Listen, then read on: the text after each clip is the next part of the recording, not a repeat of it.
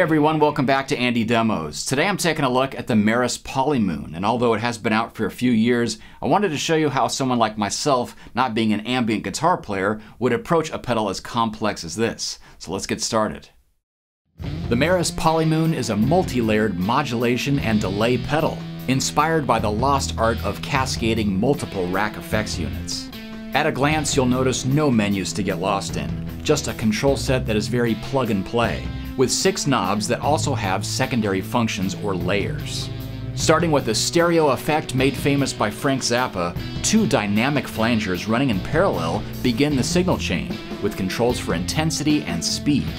Then it's off to six delay lines in series that total up to 1200 milliseconds for either straight repeats, rhythmic multi-tap patterns, or dreamy pads thanks to a special dimension control that smears those six individual delay lines into reverb territory. You're probably getting the point of how powerful this pedal is. However, it doesn't stop there. Each of the six delay lines has their own triangle-shaped LFO which modulates the delay. Holding the Alt button and turning the time and multiply knobs affects the early and late modulation controls. The modulation isn't just chorus either. There's various speed and depth settings, as well as tremolo and pitch shifting effects in the repeats. You can also shape the tone of these cascaded delays, making them brighter or darker by using the second function of the feedback knob. Lastly, the left and right channels of these swirling delays pass through their own barber pole phaser set to move in opposite directions to maximize the stereo field. All these parameters, including the digitally controlled analog mix, are saved in 16 presets, accessed by MIDI or by the Meris 4-button switch for quick access to your top favorites. There's also expression pedal control that allows you to morph between heel and toe presets. Like all Meris pedals, the Polymoon is built in Los Angeles with high quality components, low noise converters, and an intuitive design to spark your creativity. Let's just start with the dynamic flanger since it's first in the signal path, and I can isolate it just by rolling the mix all the way back.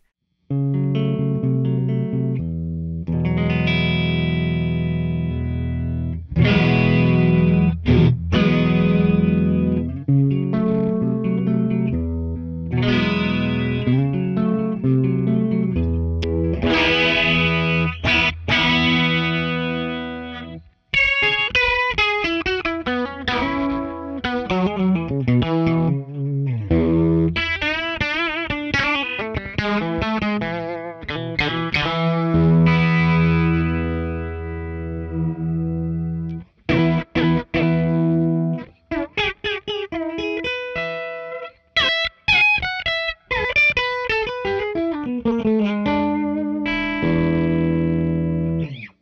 let's change the direction of the envelope.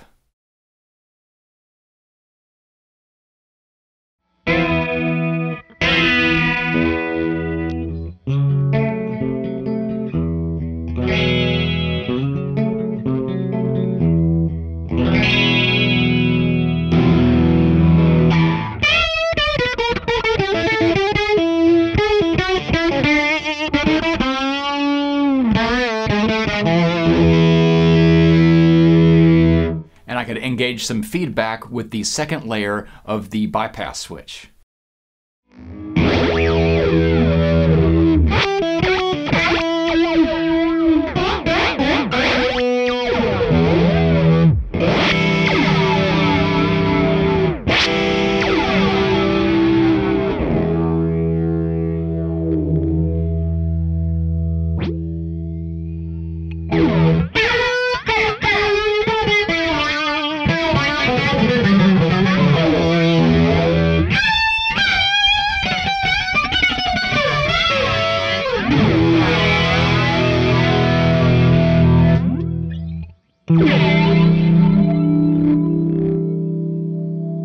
For some classic flanger tones, I'll just move the second layer of the dimension knob all the way to the right to engage the LFO. And I can do this with or without the feedback.